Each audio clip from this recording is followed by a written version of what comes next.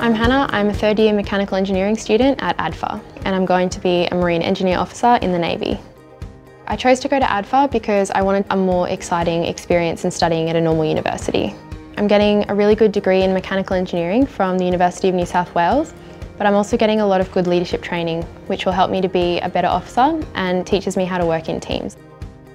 Today I've been touring Fleet Base East with the Head of Naval Engineering, Rear Admiral Lawrence. We saw the Centre for Innovation we spent a lot of time in the workshops looking at what the sailors are doing in there. We spent time down at the wharf looking at the difference between new and old ships and the new technologies that I'm going to be working with. I'm Rear Admiral Col Lawrence. I joined the Navy in January 1986 as part of the first year intake to the Australian Defence Force Academy. I guess within that first 10 years, I got to know that the Navy is more than just the technology, it's the people. And now I'm just so happy to be influencing the Navy of the future so that others can have the same enjoyable career that I've had. My advice for any young person who's thinking about studying at ADFA is go for it. The military is a fantastic learning ground for any form of engineering. The opportunities are endless.